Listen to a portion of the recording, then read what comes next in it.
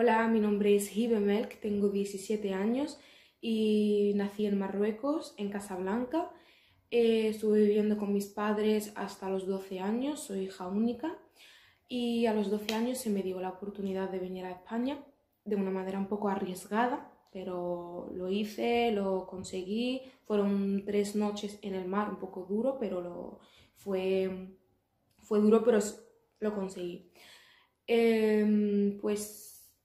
Em, ahora mismo estoy haciendo, bueno, ya he terminado primero de bachillerato, el año que viene haré segundo de bachillerato de ciencias sociales. Eh, me gustaría ser profesora de francés eh, porque me encantan los idiomas y también me gusta mucho escuchar música, me gusta pues cocinar, aunque se me da muy mal, me gusta leer, debatir, estudiar, puede sonar raro, pero sí. Y yo creo que para mí lo más importante es, no o sea, primero no rendirse nunca, porque te vas a caer muchas veces y te tienes que levantar y ya está, no pasa nada y, aquí, y así, así se sigue, así se llega a donde quieres, porque el camino plano no es.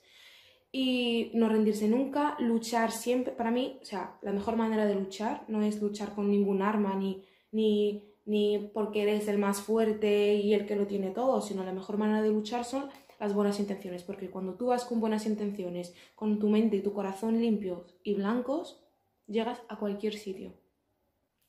Bueno, y también me gustaría pues deciros una cosa muy muy importante para mí, que yo creo que es algo que me ha ayudado muchísimo, que es que la clave, ¿eh? la clave de todo esto es tener una idea exacta de ti mismo o de ti misma y de tus posibilidades porque normalmente el fracaso viene cuando no te conoces a ti mismo o a ti misma y cuando tus expectativas son mucho más altas de lo que realmente puedes conseguir y lógicamente cuando lo consigues te sientes fracasado. Así que bueno, y eso me gustaría deciros que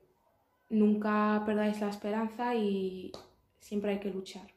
porque si yo he podido, todo el mundo puede. Adiós.